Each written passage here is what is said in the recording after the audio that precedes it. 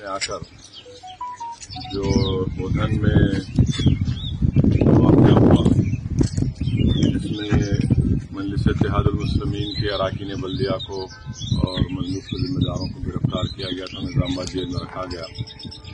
मैंने आज उनसे मुलाकात की और उनको तयन दिया कि उनकी जो भी कानूनी कार्रवाई करना है, उनकी जमानत, उनकी बेल करवाने के लिए इस सिलसिले में मजलिस के जिम्मेदारान और जनाब जाबर अहमद साहब भी वकलाओं के साथ कोशिश कर रहे हैं।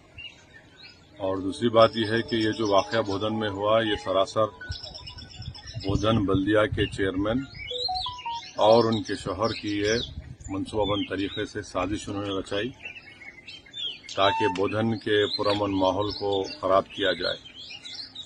और सबसे बड़ी ज़िम्मेदारी बोधन बल्दिया के चेयरमैन पर और उनके तमाम साथियों की आती है। और उसका फ़ायदा बीजेपी और संघ परिवार उठा रही है। और हम उम्मीद करते हैं कि पुलिस सही तहकीकत करेगी। और मेरा मानना यह है कि मजलिस के अरकान बल्दिया ने वहाँ पर हालात को खराब होने से बचाया। नौजवान जो जज्बात में आ गए थे, बगैर बल्दिया की इजाज़त के एक गैर कानूनी तरीके से वो काम किया गया। तो मजलिस के अरकान बल्दिया ने हालात को पुरमन रखा कंट्रोल किया और खुद पुलिस के आला अहदेदारान ने उनका शुक्रिया भी अदा किया उस दिन, हमारे अरकान बल्दिया का।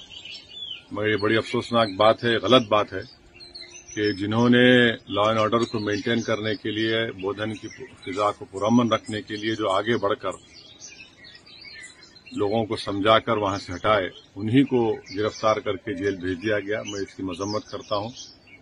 और हम हुकूमत से ये मुतालबा करते हैं कि इन तमाम अरकान बल्दिया को हुकूमत इनको रिहा करवाए।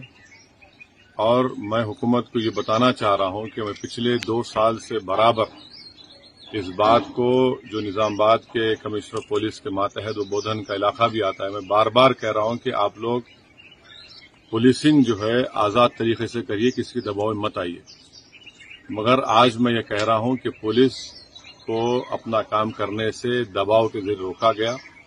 ये अब भी नहीं इस वाक़े ने बल्कि पहले से, और इसका नतीजा ये निकला कि शरंगेज जो लोग हैं, जो फितना बर्पा करना चाहते हैं, उनको खुली छूट मिल गई। कभी भी मौका है कि हुकूमत इसका संजीदगी से जायजा ले, और जो सही तरीके से तहकीकत हो और जो वहाँ पर